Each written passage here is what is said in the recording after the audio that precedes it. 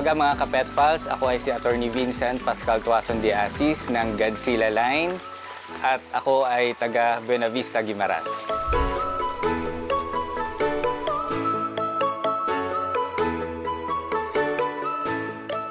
Uh, Yung serious na pagko-goldfish, ah, siguro mid mid 2018 hanggang ngayon.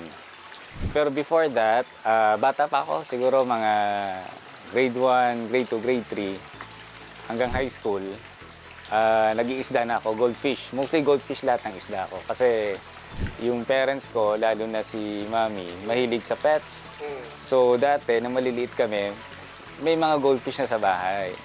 So kaya yung baong ko, dati, iniipon ko para bumili na ng goldfish sa Iloilo. Tapos yun na, Ah, parang yun na yung TV ko nang maliit pa ako.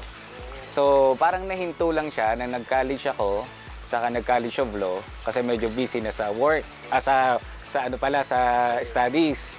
So, nang naging abogado na ako, saka parang medyo ah, may time naman, so bumalik ako sa hobby na ito.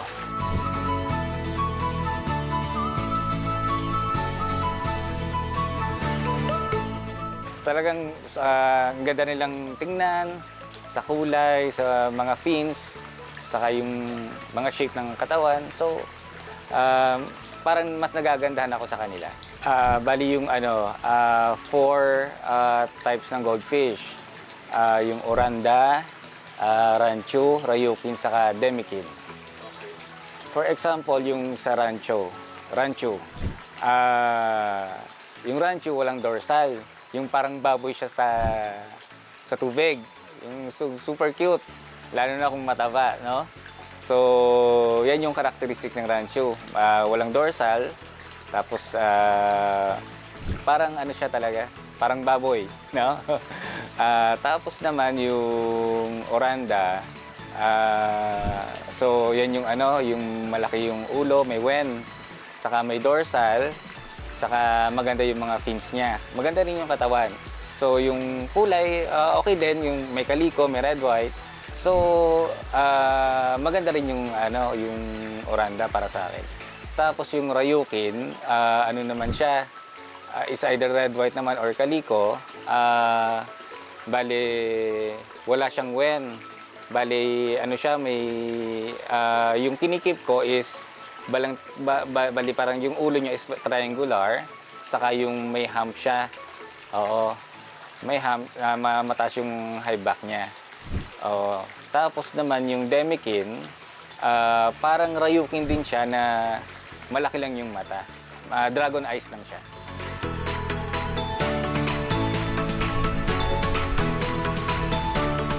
Kasi sa apat na yan na kinikip ko, ah, halos kasi lahat, ano eh, parang pantay lang.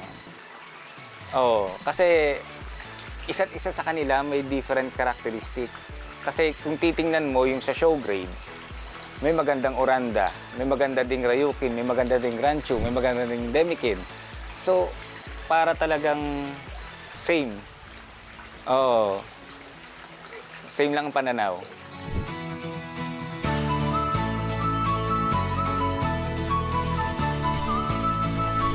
Para sa akin, ah, unahin natin yung pet grade, no?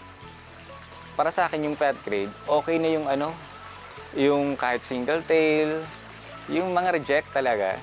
Pero napapalaki mo, gumaganda namang kulay, pero hindi mo siya pwedeng ma-show. Hindi mo rin pwedeng mag- magamiting material.